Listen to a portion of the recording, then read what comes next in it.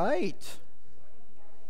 Very active this morning. That's wonderful. Great to see you all here. My name is Tim. If you're visiting this morning you don't know, welcome to those watching online as well. We are in this series, or just started last week, called Impossibilities. We're really we're looking at the possibilities of what the Holy Spirit can do in us, through us, and around us. And so this whole year, or uh, not this whole year, Skip just freaked out for the whole year, but for the first six months anyway, next six months, we're going to be talking about Acts and the Holy Spirit as well. So I think what's intriguing is, is as I have pastored churches and met with other pastors and other people within the body of Christ, is it seems the Holy Spirit is the least talked about, the least understood person of the Trinity. It almost seems like the, the, the church, the Holy Spirit was evident and, and, active in the first century, second century, like all the way up till we got the printing press and, and Bibles started to be printed, and then we kind of set the Holy Spirit on the shelf and said we have the Father, Son, and Bible and, and said, Well, Holy Spirit, you did your job. You got us to the written word. Now all we need is in the book, and that's all we ever need to know is what's here. And we've set the Holy Spirit aside. And then we also have some denominations that have essentially created themselves out of the book of Acts. They, they've read Acts and said, Wow, we have missed the Holy Spirit, and so now everything we do is going to be about and about Him. And so we want to understand who the Holy Spirit is. We want to understand His role within the early church. We want to understand His role that He is doing in us and through us, and His role in our church today, and understand that He is equal with the Father and the Son. Okay, it's not, there's no like hierarchy here, and it's these are they are equal together. And, and, and so we, we want to understand that. And Jesus was absolutely clear to the disciples, wasn't he? I'm leaving. I'm going to sit at the right hand of the Father, and I'm sending the Holy Spirit. Okay? He will be the one here on earth. Jesus isn't walking around anymore, if you were wondering. He's in heaven at the right hand of the Father. It is the Holy Spirit who allows us to meet Jesus. It is the Holy Spirit who allows us to speak to Jesus. It's the Holy Spirit who allows us to speak to the Father, right? It is the Holy Spirit who lives in us, who is the one that allows me to be in communion with the triune God. Okay, so we want to make sure we understand that and get that. And so as we go through this, if there are theological things about the Holy Spirit you don't understand, feel free to text or email or call or let me know and say, hey, could you unpack that a little more? Or could you give us a little more understanding about this aspect of the Holy Spirit? Because we want to make sure we understand who he is because we're gonna he's gonna be our main character for the next few months as we go through this study. So, with that said, I, I want to hit a couple theological things this morning as we start. So, these three passages the first is the second verse of Genesis. And the Spirit of God was hovering over the face of the waters. The next one is from Numbers, I think, chapter 22. And the Spirit of God came upon him. And the next one is from 1 Samuel. And the Spirit of God rushed upon Saul. Now, I just took three passages from the Old Testament. There are many passages that talk about the Spirit of God being present. The Spirit of God was present at creation, the Spirit of God has been present eternally, along with the Father and the Son. And then, second verse of Acts that you looked at a few weeks back until the day when he was taken up after he, meaning Jesus, after Jesus had given commands through who? The Spirit of God. After Jesus had given commands through the Spirit of God, or as we now call the Spirit of God, the Holy Spirit, after Jesus had given commands through the Holy Spirit to the apostles whom he had chosen. So Jesus walking the earth filled with the Spirit of God, filled with the Holy Spirit. He is giving commands to his disciples, to his apostles who he had chosen. So the Holy Spirit, the Spirit of God, has existed eternally, was present at creation, was present throughout the Old Testament times that we read about, and is present now, living in us. Okay? Holy Spirit always present. And now his role is very significant within us because he leads us to Christ. He leads us to Yahweh, right? He is the one who is moving the church forward. And we're going to see the church birthed this morning in Acts chapter 2. Okay, another word. That uh, uh, not another word, but I guess a word that maybe you know. Do you know this word? Glossolalea. Anybody know this word? I was using the Greek pronunciation. We would probably say glossolalia is probably how we would say it in English. Well, this word comes about. I think a lot of times we think this is a scriptural word, but this word comes about in 1879, or at least it's the first time this word is in print. Is in 1879. This guy in England says, We're going to make a word for this idea of speaking in tongues. And this is the word he uses. And what he does, pretty smart guy, he puts together two Greek words glosso, which means tongues or language, and lalea, which means to speak or talk. Pretty, pretty easy, right? Pretty easy. He puts these two words together and says, This is the word he's going to now use when Scripture talks about, and we'll see this a couple times in Acts, and when we know it, Paul writes about it. When Scripture talks about speaking in tongues, or this idea of speaking in tongues, this guy in England, 1879, says, This is the word I'm now going to use, and people begin to use this word of speaking in tongues. And, and what this word means is speaking in a language that no one else understands, but that Paul says needs to have an interpreter present so that interpreter can tell the body, everybody else, what that person said. Okay, so this idea, which Paul talks about, which some say exists in Acts, we'll unpack that a little bit, is, an, is a language that none of us would understand, that someone else would say, hey, I understand that, and here's what it means in our language. Okay? Now, it's important because some would say that's actually what's occurring in the text we're looking at today. Mm, many others would say it's not. So we'll look at the miracle and we'll let the Holy Spirit tell you what, what, what's happening here. And then as we get later on in Acts and we, we see that Gentiles then begin to speak in tongues, we'll, we'll begin to unpack is that this or is that something else? Paul talks about this for sure, we know, in his letters. But I want us to know what it means and the difference of what might be occurring in the text we're looking at this morning in, in chapter 2. So if you haven't turned there yet, turn, turn to Acts chapter 2 at this outrageous story. Now, now, maybe you have read this story multiple times. Maybe you have looked at it once. Maybe you've never heard it.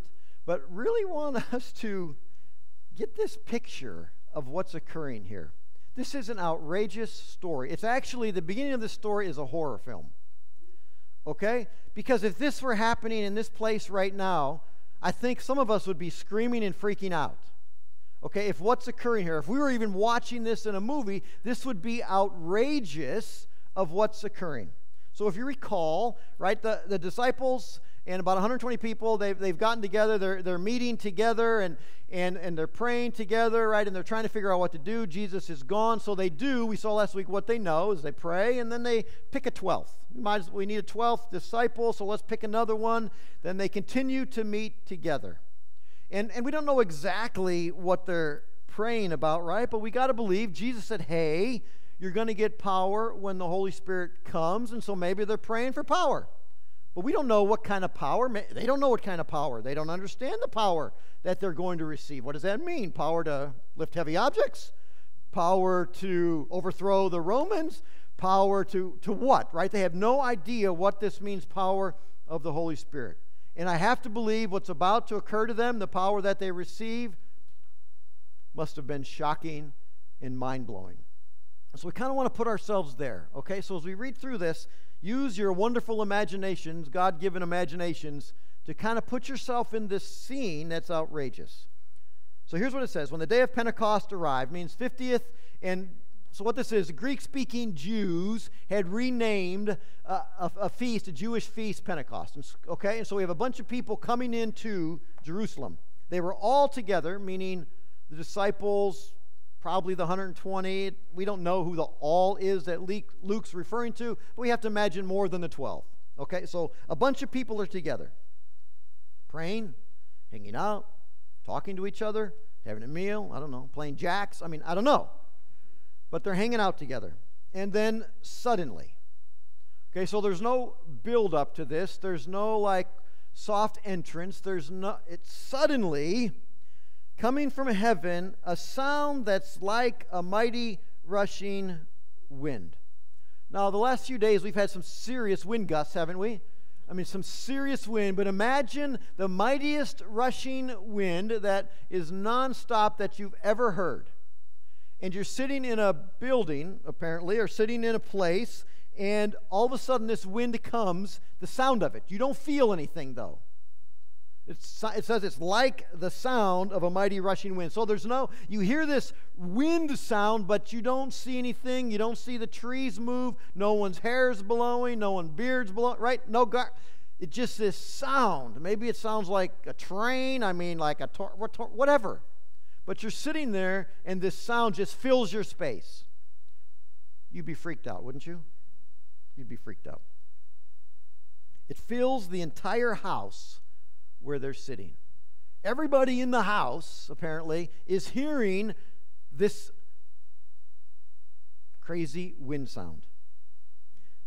If that's not enough to freak you out, then divided tongues, which are like fire, appear to them. So now we're all sitting around hearing this, looking at each other like, oh, this is a little freaky. What's going on? And now what we begin to see is what looks like a tongue of fire, not like, I love what the ESV here says, resting on each other. I don't know about you, but I'm taking my cloak off trying to put the fire out on your head, right? I mean, imagine the wind, and now you see what looks like fired tongues of fire sitting on each other. Can imagine what's going through their minds. I can't imagine what they must be experiencing. They, Jesus has died. They're trying to figure it out. They're wondering what power in the Holy Spirit means. And here they are together, praying for quite a few days. Nothing's happened, and now this is happening. Well, if that's not enough, Luke tells us they were all filled with the Holy Spirit. And what happened to them? Well, they began to do something that was being led by the Holy Spirit. Now, what we don't know here, and, and one day we'll find this out, right? What we don't know is it really sounds like the Holy Spirit's moving their mouth and making the sound come out. Because what's occurring is they began to speak in other tongues as the Spirit gave them the language or the words. As the Spirit spoke. As the Spirit was moving in them, they all began to speak other languages. Outrageous. Wouldn't you be completely freaked out if you're sitting there listening to wind and then there's fire all over us and then all of our mouths start to move in languages we've never spoken? And it says other, so we get the idea that there's plural languages going on. We haven't got to the next part yet. Plural languages that we're all sitting around speaking. And we don't know, most likely, what each other's saying. We don't even know what we're saying. But our mouths are moving, saying some words, and we I don't what we don't know is do they even know what the words mean that they're saying, right? I mean, many of you, I know some of you, I know many of you, some of you speak multiple languages. And so when you're between, right, you know the words in these multiple languages. But we don't know if this, this utterance is coming out, whether they understand what they're saying or they're just like, what's happening? Words just flowing. And imagine what they're thinking. Is this what it means to have the power of the Holy Spirit? Sound of wind, fire that's not burning us? And words coming out of my mouth, I don't even know what I'm saying. Unbelievable. And now Luke tells us the significance of this thing that's occurring, this amazing miracle that's occurring. There were dwelling in Jerusalem Jews, devout men from every nation, Luke wants to tell us, under heaven. All these people have come into Jerusalem for this feast, for this Pentecost feast, and we're going to learn they've come from a lot of different places. Luke maybe exaggerates a little bit saying every nation, but a lot of different people coming into town, a lot of different Jews coming to town for the feast, speaking different languages from different places. And at this sound, now we don't know whether that's the wind or their voices, a combination thereof, but at the sound that these all these people are hearing, the multitude came together. They're all milling about. They hear a sound. We don't know if the, the 120 have come out of the house or they're still in the house, right? We don't we don't get that. Luke's not telling us all of this, but they this multitude, they're milling around apparently the city. They hear the sound and they all come together and gather together. That's pretty uh, wild. And they were bewildered. I don't know, that seems like an understatement to me. Right? Is, is they're hearing this crazy wind sound? Possibly. I'm not sure they see the fire. He doesn't tell us that. And they hear a bunch of words. It says they're bewildered. Here's why. Because each one was hearing these speakers speak words in his own language. Multiple miracles occurring here. So the, the, the, question becomes are these guys, the, the disciples, just speaking whatever words, maybe, you know, like a, a gibberish that no one understands, and that each of the people on the receiving end receive and hear in their own language? Or are the disciples speaking all these different languages all these different languages, and these people are hearing it in their own language. Going to let you figure that out. I think what I've, re- what I've read about this from, from folks who don't have a skin in the game, right? They're not trying to promote a theological thing, is the language, the Greek language, language would suggest they're speaking in other languages. That they're all speaking in the language of the natives which should be a pretty significant missionary uh, um, uh, point for us to understand that when we go to nations of other languages, we should learn native languages instead of making them learn mine. Right? That, that would seem like the Holy Spirit, even from the beginning, is trying to say, hey, you need to learn the language of those you're going to speak to. That's a side point bonus there. Um, and again, we get the understatement of the day. They were amazed and astonished. Get all these people. They're amazed and astonished by all these languages they're hearing because here's the question they ask Are not all of these who are speaking Galileans? Remember the Galileans? They're from Nowheresville. They're the hillbillies. They're from Hicksville. How could these people from Galilee know any other language but their own? How could these uneducated people possibly be speaking our language? Not just my language, but Abraham's language and Jacob's language and wherever he came from's language. And the other thing that seems to be occurring here is all these people who speak different languages in this next section seem to understand each other as well. Now, maybe they're speaking a common language, but Luke doesn't tell us that. But all these people who speak different languages, hearing the disciples speak to them in their own language, are communicating with each other. Unbelievable. So they're amazed. And how is it that we, okay, they're, they're talking to each other, all these people, 100,000 or more expected there. We don't know how many are hearing this, though. How is it that we hear each of us in his own native tongue? How is it possible that we're, we're rep- and we're going to learn where they're all represented from? How is it possible that we all can understand this madness that's occurring? This impossibility. Do, do we get the impossibility here? The impossibility of these Galileans. What do they know? Not much. And all these other people with a different native tongue. And the Holy Spirit took what should be absolutely impossible. There's no way that these Galileans should be able to speak to these people who have all a different native tongue and them understand. And the Holy Spirit made this impossible thing quite possible.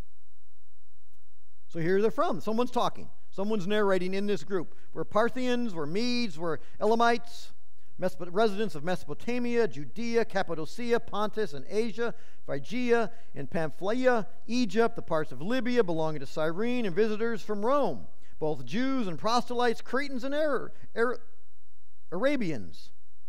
We hear them telling in our own tongues. And what are they hearing? I think this is a great missionary message, too. The mighty works of God. They didn't start to jam Jesus down their throats. They didn't start to say, get saved or burn. They didn't start to say, you got to get it now. They didn't, they just started to tell the wonderful story of an amazing God. And all of these Jews who have come into town for this festival, they're all hearing in their own native language the wonderful work of Yahweh, the wonderful story of God. Church, I think that is an amazing point we don't want to miss. That when we're sharing in building relationship and getting to know people, we need to just talk about how amazing God is. We don't need to talk about anything more than that to start and let the Holy Spirit lead the rest. The Holy Spirit leads the rest of the story, by the way, and will continue to lead the story. But they're just sharing. And, and again, I wonder, these disciples, I mean, eh, do they even have any idea what they're sharing?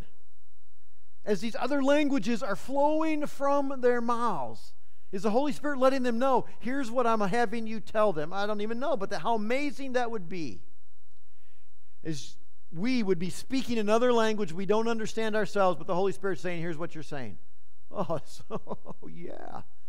Just the mighty, wonderful works of God. What a great message for us to hear as well. And all were amazed. Again, understatement, perplexed. I think I might be a little more than perplexed and amazed. And they're saying to each other, What does this mean? They don't know. They don't understand why they're hearing the might of works of God. They know about God, right? These are Jews coming to Jerusalem. They know about God. They're hearing the mighty works of God coming back to them in their own language from a bunch of Galileans. And they're like, what, is, what does all of this mean? But some of them say this they're drunk, essentially. There's a group of people that, that are just looking at it saying they must just be high, inebriated on new wine because we know that's how new wine is going to work. And so that's what must be what is happening. And isn't that intriguing? And we'll unpack this more in the, in the weeks to come, but isn't that intriguing that, that I think us, us, us God followers, us Jesus followers, we have an expectation of how God will show up. And if he doesn't show up in that way, we dismiss it. And we dismiss him. Maybe these Jews expected God to show up in their own predefined or predescribed way, their own understanding of how God works, the box, their own box. And when God didn't fit into their box, they missed the possibility of the Holy Spirit. Church, are we guilty of that today? Are we guilty of this idea that, that God only shows up in certain ways? Right? I mean, denominations are built on this. God doesn't speak any more than what's said in here, right? There's some that would say there's no more revelation possible.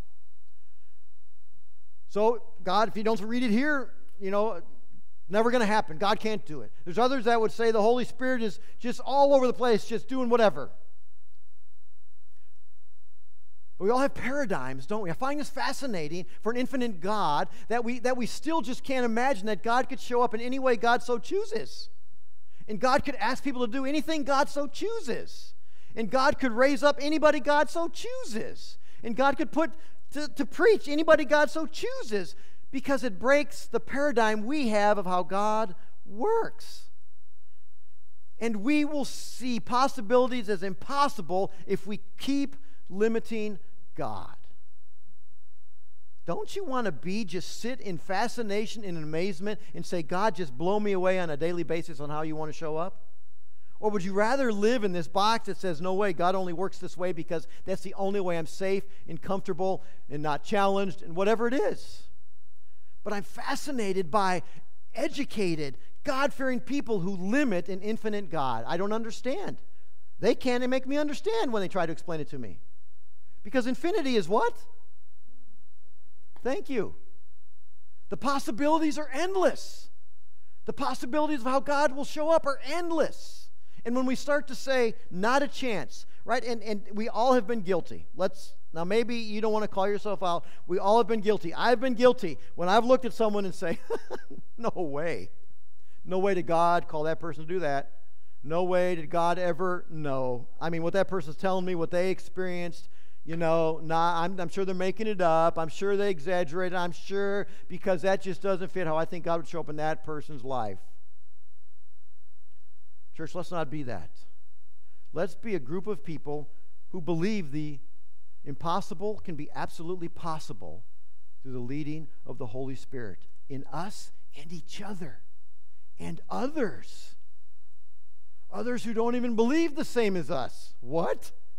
Other whose theology is far out. What? Others who, who may have no theology. What?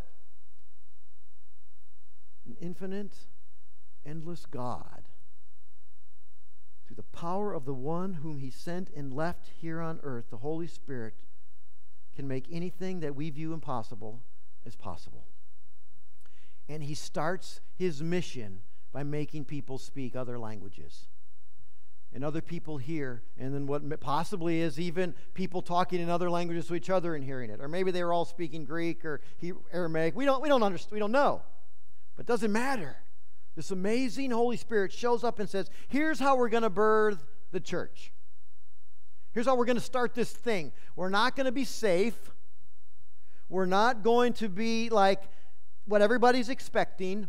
We're, we're, what we're going to do is make this loud sound come. We're going to set everybody on fire, and then we're going to make people speak language they have no idea what they're saying. Oh, that's a good idea. And then everybody sitting here is going to receive it in their own native language. Let's see how that goes. Well, next week we're going to find out how it goes, right? So continue reading starting in verse 14 to 41 for next week. But we're going to find out how it goes and what the Holy Spirit does when they're receiving this amazing miracle. And so, my encouragement to us, I guess my challenge to us is expect the unexpected. If you're willing to, dive into the, to the pool of the Holy Spirit, so to speak, if you're willing to say, okay, okay, Holy Spirit, I know you live in me, I know you're God and you can do anything. I'm opening myself up to anything. Woo! Who wants to pray that prayer today? I'm opening myself up to anything. And when I say anything, that means infinite number of things that you would have for me. You want me to speak another language?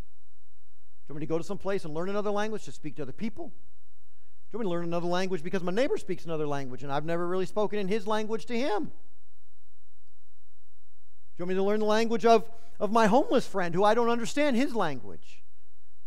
learn the language of, of this marginalized person. I don't even understand what's going on. Right? When we say to the Holy Spirit we're open to anything, we better be prepared to be moved to any number of things. And let's stop thinking stuff is impossible. Where there are people who are willing to submit to the power of the Holy Spirit, anything is possible. And so we must ask ourselves that question as a body of believers are we that group of people who are open to anything that the Holy Spirit might want to do in us individually and corporately so that everything is possible through Him? That's scary. That un- makes me uncomfortable. That's like maybe not that prayer today. But I think it's the prayer that brings life to us and others as we just say, Holy Spirit, this impossible story that we've just embarked on, this impossible way you've come onto the scene, in the way you're birthing the church, and, and what, what's going to happen next. We're open to what you want to do with us as well. So I just want to take a minute, even before Lucas comes, to close with, with an amazing song. Just sit here quietness and stillness. Breathe in the Holy Spirit. Allow Him to refill you this morning. And speak to Him as you feel so led to speak to Him. And then Luke is going to come and play. And we're just going to sit in that. And then as, as you are led to sing, you feel free to jump in and join in. Let's just spend a few moments in silence.